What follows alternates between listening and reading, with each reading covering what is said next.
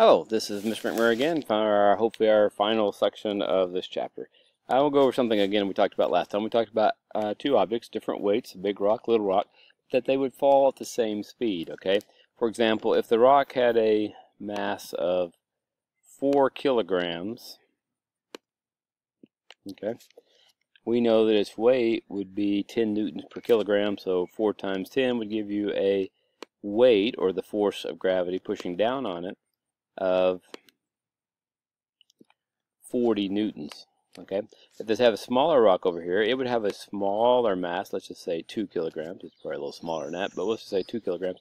And since once again each kilogram has a uh, weight of two newtons, a 10 newtons, two times 10 would give you a um, weight of 20 newtons. All right, but if you wanted to figure out their acceleration or a, which is equal to force divided by mass, this would give you a acceleration of 10 meters per second squared. But 20 divided by 2 would also give you an acceleration of 10 meters per second squared. So they would have an acceleration that is identical. Okay, and they would fall at the same rate because even though this has a bigger force or weight, it also has more mass, which means it has more inertia, which resists acceleration. And so it would they would end up having the same acceleration.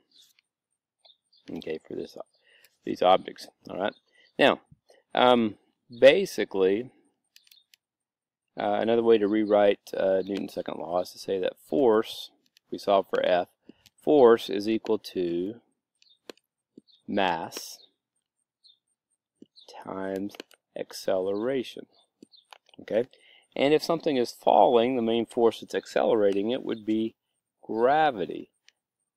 All right, and so the force would be equal to mass times acceleration, or g. g is the acceleration due to gravity.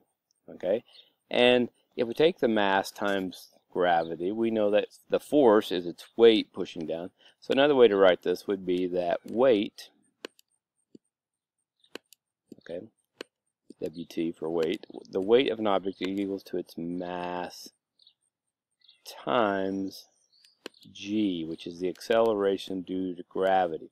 And as we notice down here, if we want to find the force, okay, basically it's the mass times 10, okay, because one kilogram has a, uh, a, a, a, weight of 10 newtons. So basically the acceleration of gravity or g, g is equal to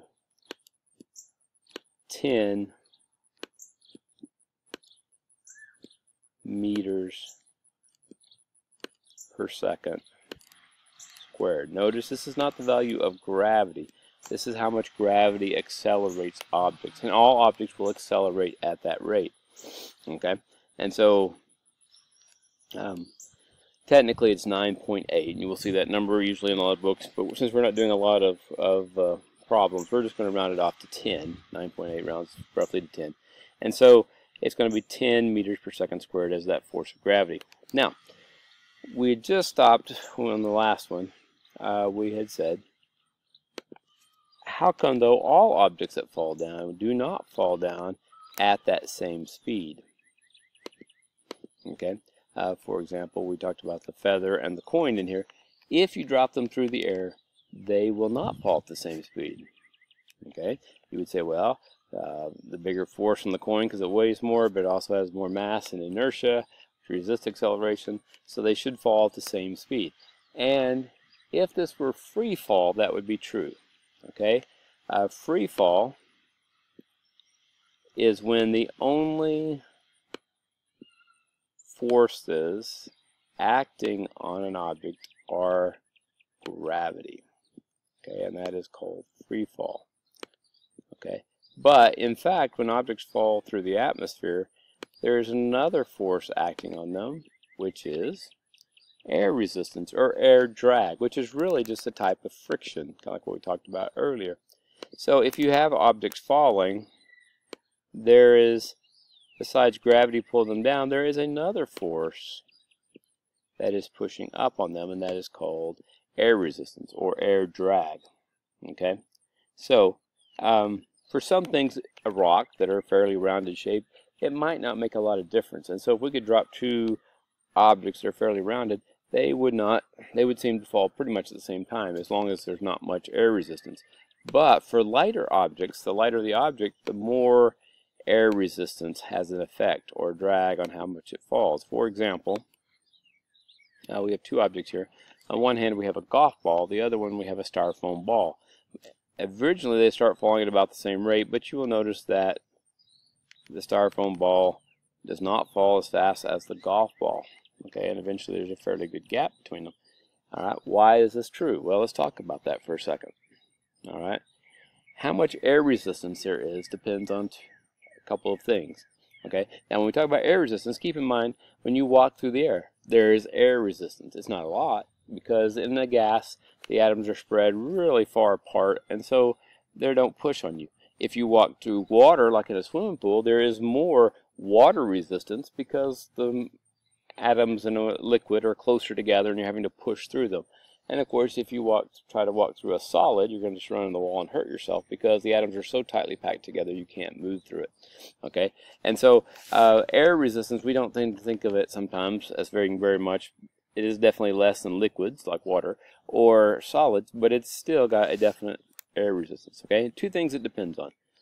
It depends on two things. Air drag is proportional to one, the speed of the object.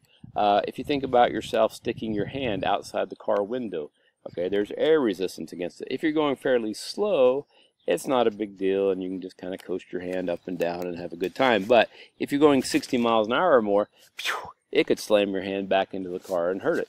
Okay, so uh, the faster you go, the more air resistance there is. Okay, and this is like race cars. They go very fast. They try to make the car very smooth so that there's very little resistance, no rough edges, no squared off edges and stuff that catch the, the wind they, or reduce that air drag. Okay. The other thing is the amount of surface area or frontal area. If it's falling, the front being the bottom of the object, the more surface area there is, the more it increases the air drag okay? And so that increases the force pushing against the object. So for example um, if you dropped a piece of paper say you had two pieces of paper if you crumple one up into a ball okay and the other one you just let fall as a sheet of paper okay because of the greater surface area or frontal area of the one falling uh, the flat piece of paper is going to slow down and have more air resistance or drag whereas the watered up paper is going to have less air drag or air resistance and will fall faster. Now, if you could make this piece of paper stand on end so there's just this edge catching the air resistance, then it would fall fairly fast also. But normally that's not going to happen. It's going to end up turning flat, and then when it does, it catches more air and you have more air drag. Okay, so these two things, how fast it moves, all right, and do it. Now, there are some common misconceptions about this. So, for example, in people say, oh, what if I took a penny and dropped it off the Empire State Building? It's possible that I could kill people down at the bottom because it's going to accelerate or speed up as it falls down. And that's true. Objects will fall at a rate of 10 meters per second squared. Every second they will be going 10 meters per second faster. So after one second, they'd be going 10 meters per second. After two seconds, they'd be going 20 meters per second. After three seconds, they'd be going 30, and you get the idea, 40, 50, eventually. After 100, they'd be going 1,000 meters per second. And that would be true if they continued to accelerate. But as they start going faster and faster, what happens to their air drag or air resistance? It also increases. And eventually you're going to reach a point where the air drag pushing up against the falling object is going to equal the acceleration and it will not speed up anymore. Now it will not slow down, but it'll reach a certain speed and it can't go any faster because it's going so fast, it's got so much air resistance that it's keeping it at that same speed and it can't go any faster than that. All right, this is called the terminal velocity. Terminal at the end. So this is terminal velocity. This is the very peak speed that the object can re uh, reach. And so eventually that penny falling off the Empire State Building, it will get going pretty fast, but it will eventually reach a point that its speed is going so fast that its air resistance is canceling out and it quits speeding up. Would it hurt if it hit you? Yes. but since it doesn't keep speeding up faster and faster and faster, it would not uh, do damage. If it continued to speed up the whole time, yes, it could very well kill somebody. But eventually it's going to reach the point to where it can't go any faster. And that terminal velocity would be well below like a bullet or something like that. And so it would not have enough speed to, to really hurt you. Okay, an example of an animal that does this kind of thing, uh, this air resistance drag, would be a uh, flying squirrel. Flying squirrels can jump from one tree to the next and they kind of use gravity as they fall down. As they come in for a landing, you notice he spreads out his uh, feet and arms and legs, makes this big flat surface, which is going to increase his air drag, slows him down, and allows him to land gently on the branch. Otherwise, if gravity kept pulling him faster and faster, then he would smash into the branch and hurt himself. Okay, um, let's look at one more example of terminal velocity before we let that go. Okay, now the question is, say you have uh, the same type of parachute and you have a heavier person and a lighter person, and they both jump out. The question is, we said according to a theory of air resistance, I mean of, of uh, Newton's second law, all objects should fall at the same rate. And if you just fell, let them fall and their air resistance was about the same, that would be true. But uh, once they pop their chutes, okay, here's the deal. Uh, the force that's pushing down on this one is basically its weight, okay? This person's weight, okay? And this person has a fairly large weight, so we'll write that real big, okay? This person has a small weight, so we'll write that a little bit smaller, okay? Now, they will both begin to fall and accelerate at the same speed. After one second, they'll be going 10 meters per second. After two seconds, they will be going uh, 20 meters per second, and they will continue to speed up at the same rate. Now, as they speed up, their air drag pushing against their parachute will get more and more. Okay?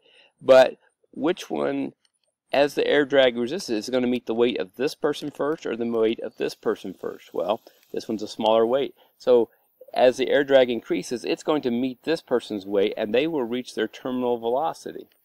Okay, at which point they will no longer speed up anymore. They will keep that one speed all the way down. This person has a heavier weight, so they have to fall farther and accelerate faster until they reach that. Now, once they reach, once the air drag is equal to their weight, then they will not speed up anymore as they fall down, and they will reach a constant speed or terminal velocity, and they can't go any faster than that. But, yes, this heavy person then will be going at a higher speed when it hits the ground. Not, hopefully, if they have the right kind of parachute, a whole lot, but it will be a little bit more. Now, you could adjust for that by giving the bigger weight person a bigger parachute, therefore increasing their drag that they started with, and then as they speed up, it would get even more, and it could slow them down at the same time. Okay, but if they have equal parachutes, then this person is going to have to get to higher speed before they get enough air resistance to reach that terminal velocity. And so they will actually hit the ground at a faster speed.